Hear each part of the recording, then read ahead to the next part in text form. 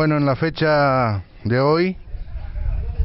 se procedió al triste momento en que estaba anunciado la bajada del Cristo de la Hermandad debido a su gran deterioro que dicho por expertos era imposible permanecer de esa manera. También era triste verlo eh, entronizado así, en esas condiciones y con un futuro no muy promisorio que digamos.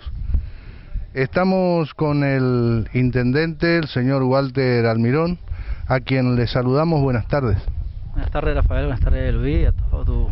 audiencia. Sí, lamentablemente también en otra fecha que quedará en el recuerdo de todos los itaibateños, sobre todo lo que nos tocó por ahí tomar esta decisión que no es la que queríamos, pero bueno, eh, había que hacerlo porque como comentamos fuera de cámara podía suceder esto estando de pie y por alguien que por ahí venía a presignarse, a saludarlo y bueno,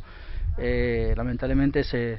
rompió un pedazo que, era de lo que estaba, digamos, más deteriorado, pero bueno, tenemos la esperanza de poder restaurarlo, estamos viendo distintas ideas. Ya le di la directiva a la directora de Cultura que se comunique con la, arquitecta Elisa Martínez para que venga a hacer una evaluación de cómo está dentro, por lo menos para tener un informe y ver con la persona que, en un momento se haya comprometido, buscaremos lo que sea porque tenemos la, la, confianza, la esperanza de que podemos restaurarlo y de, con, un,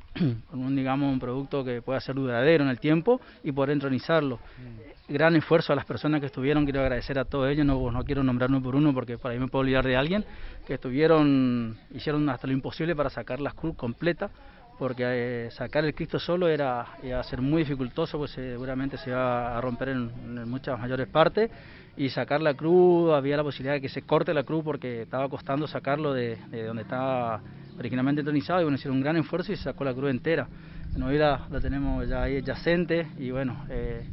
seguir rezando, digamos, para que nos siga protegiendo, y bueno, como siempre sostengo, será como Él quiere que sea o su restauración o su este, permanencia en este estado para que la gente pueda moverlo. Entonces está en los planes, digamos, restaurarlo y de alguna manera volver a intronizarlo en el lugar.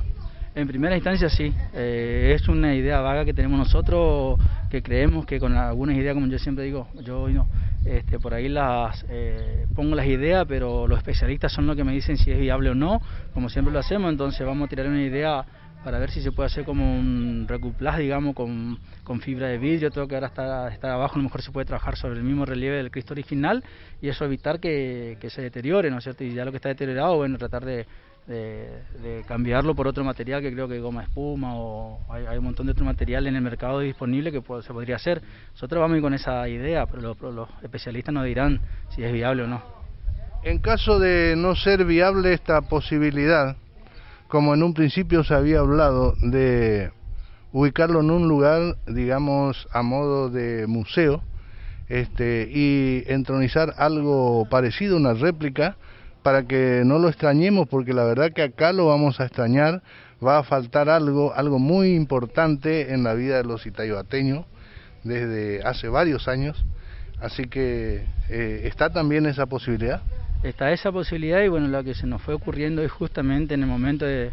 tomar decisiones, de, cómo bajarlo todo, también se nos ocurrió que en ese mismo lugar que está adyacente ahora se puede armar como un templete utilizando lo que ya estaba. Entonces él va a aparecer en el mismo lugar, nada más que en lugar de pie, va a estar, digamos, en, posición acostado. Así que son otra posibilidad que se nos ocurrió ahora para mantener la, la misma este, imagen arquitectónica que tiene ya el templo, digamos, nuevo y bueno, buscar la forma para que podamos venerar este Cristo que tenemos y a lo que estamos acostumbrados.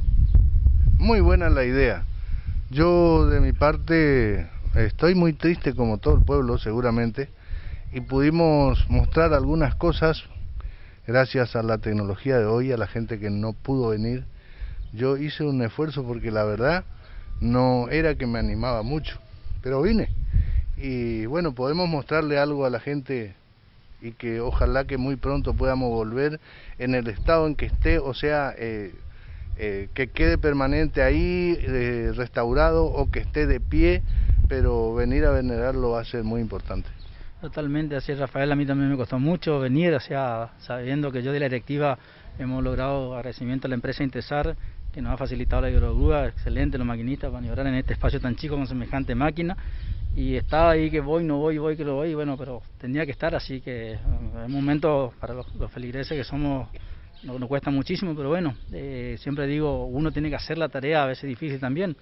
Y como le digo, ojalá eh, como cristianos recemos todos los días por nuestro Cristo, no teniendo en cuenta que si ya está nuestro Cristo, o sea, tenemos que rezarlo creo todos los días porque es el es nuestra, nuestro, nuestro, norte, como siempre decimos, es nuestro norte para, para nuestra existencia. Muchas gracias, Intendente, muy amable. No, por favor, a usted, buenas tardes.